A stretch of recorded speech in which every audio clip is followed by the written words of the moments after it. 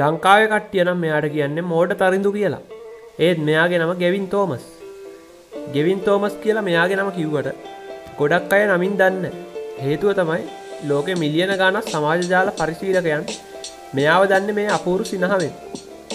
ලංකාවට මෙයාගේ මේ හිනාවෙන්න කලින් යුරෝපය සහ චීනය දෙදස් දහතුන අවුරුද්ධය ඉඳලා මෙයා සමාජ ජාල තරුවා ලෝක ප්‍රකට මීම් එක මේකේ ආරම්භය වෙන්නේ මෙහෙම.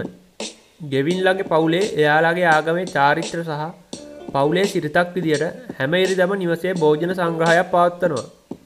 ඒ කියන්නේ ගෙවින් ඉන්න ගෙදර. ඒ ගෙවින්ලගෙන් වෙන් වෙලා මියදුණු ආදරණය සීයාව එහෙම නැත්නම් ගෙවින්ලගේ තාත්තගේ තාත්තාව සිහි කරලා. ඉතින් මේක එච්චර දුක්මුසු අවස්ථාවක් නෙවෙයි. කට්ටිය සතුටින් කණබොන අවස්ථාවක්. ඉතින් එක ඉරිදාවක සුපුරුදු පරිදි භෝජන සංග්‍රහය තියෙන වෙලාව. එතකොට කෙවින්ට අවුරුදු තුනයි. ගෙවින්ගේ අතින් වීදුරුවක් බිඳිලා ඒකට මුළු පවුලේ අය ඔක්කොම හිනාවෙනකොට ගෙවින්ට විතරක් ඇඩෙන්න්න ගිහින් ලැජ්ජාවට ෂණිකව සිනහාවක් එහෙම නැත්නම් ව්‍යාජ හිනාවක් පතුරුවනවා.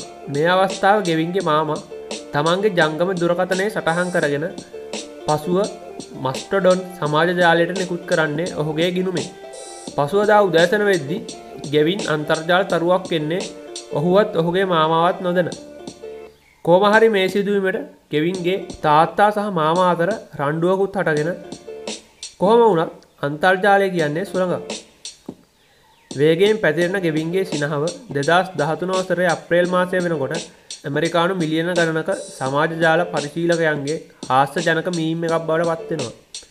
පසුකාලීනව ගෙවින්ගේ මුහුණ පසුව යළිත් ඔහුගේ මාමා විසින් පවුලේ කැමැත්තෙන්ම නව වීඩියෝ පටයක් සහ ඡායාරූප ලෙස මුදාහරනවා.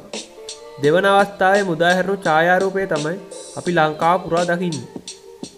චීනය කියන්නේ පේස්බුක් සමාජජාලය වැඩිය භාවිතා නොවන රටක්.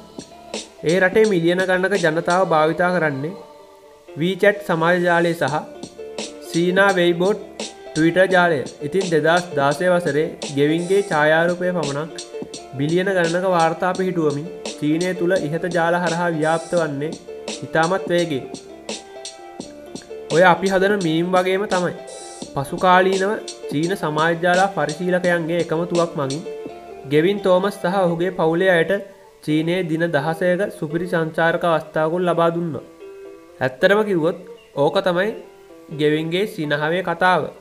මේ සිනාව හින්දා ඇමරිකානු මින්්‍යාපොල්ස් නගරේ මධ්‍යම පාන්තික පවුලක දරුවෙක් ලක්ෂපතියෙක් වෙලා තියෙනවා.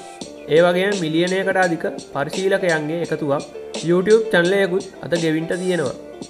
වෙළඳ දැන්නීම් හතරකට රංගන දායකත්වය ලබාදීල තියෙන ගෙවින් දැනට ප්‍රාථමික අධ්‍යාපනය ලබමින් සිටිනවා. දැන් ගෙවින්ට වයසවුරුදු දහයක්